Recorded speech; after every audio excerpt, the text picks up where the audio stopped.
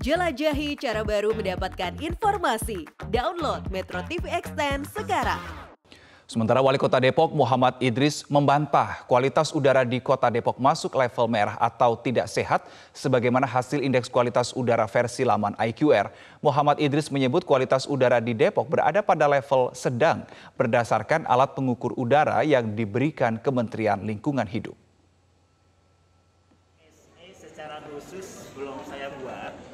Meskipun membantah kualitas udara di Depok masuk kategori tidak sehat, Muhammad Idris tetap menginstruksikan dinas terkait untuk waspada dan membantu masyarakat mengatasi berbagai masalah termasuk masalah kebakaran. Muhammad Idris menyebut pihaknya juga selalu menggunakan alat yang diberikan Kementerian Lingkungan Hidup untuk mengukur kualitas udara. Berdasarkan alat tersebut, Idris menyebut kualitas udara di Depok dalam kondisi sedang dan berharap tidak semakin buruk. Sebelumnya berdasarkan laman IQR, kualitas udara di Depok berada pada angka 200 atau kategori tidak sehat pada minggu pagi ini. Bahkan sehari sebelumnya, Sabtu 26 Agustus, indeks kualitas udara kota Depok sempat menyentuh angka 222 yang dikategorikan sangat tidak sehat.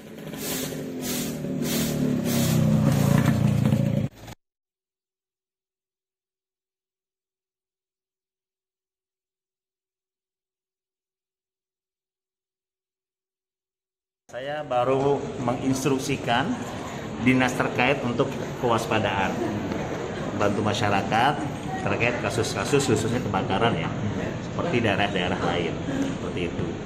Dan juga eh, dinas terkait dengan masalah lingkungan hidup ya, eh, kita selalu pakai eh, alat yang sudah diberikan dari Kementerian LH untuk mengukur udara di Depok.